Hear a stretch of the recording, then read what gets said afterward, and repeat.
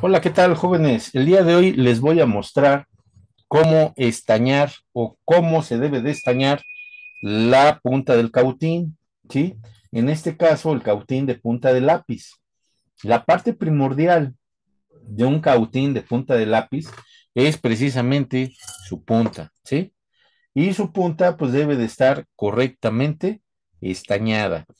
Para ello, lo único que necesitamos es un limpiapuntas, que es una fibra de cobre o de latón, y soldadura, alma de resina.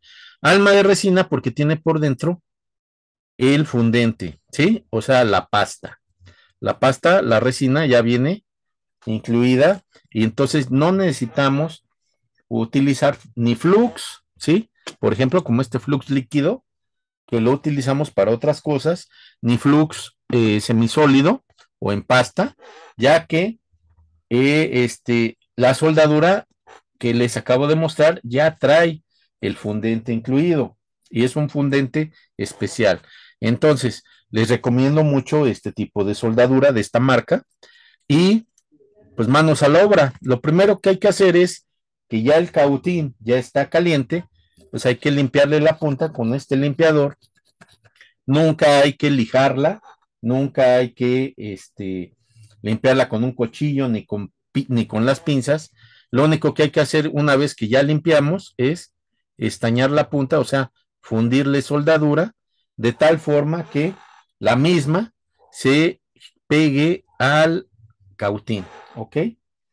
O soldador. Y de esa manera nosotros ya podemos guardar nuestro cautín para el otro día de trabajo o en su momento podemos iniciar el trabajo también eh, de soldadura, ¿sí? Eh, soldando o desoldando eh, dispositivos electrónicos gracias a, a, este mantenimiento. Debes de mantener siempre tu cautín estañado, siempre antes o después de soldar. Nunca se te olvide. Este es un tip básico para que cuides tu cautín y cuides tu calidad de soldadura, ya que de ahí va a depender incluso la calidad de tus reparaciones. Hasta luego.